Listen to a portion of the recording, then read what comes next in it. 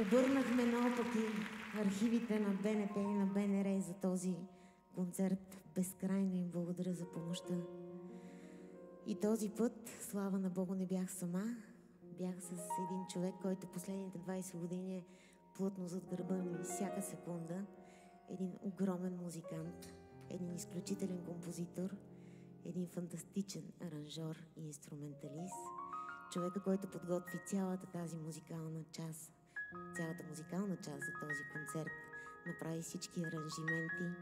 Дами и господа, Христо Йоцов!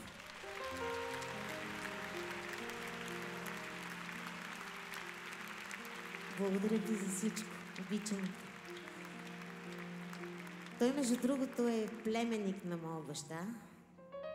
Очевидно, мой първи братовчет.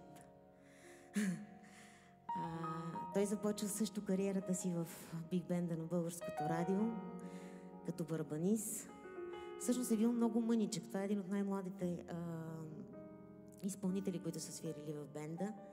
След това става негов основен аранжор – решихме, че ние трябва да направим тази програма през нашата призма. Просто няма друг начин как тя да се случи.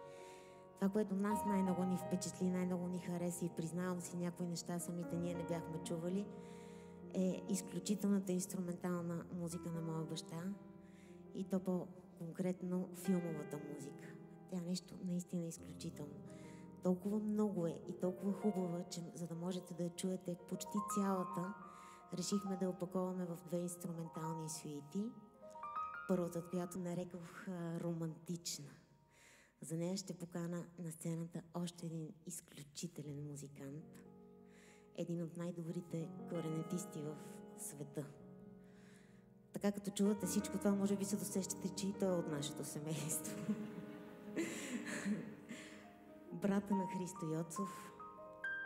Това беше най-голямата славост на баща ми. Още от мъничък беше най-голямата му славост. Племенник отново на татко и мой първи братовчет Борислав Йоцов.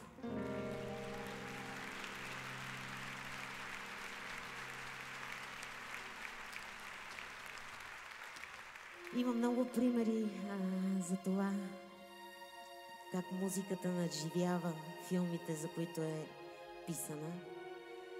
Аз мисля, че тази е точно такава.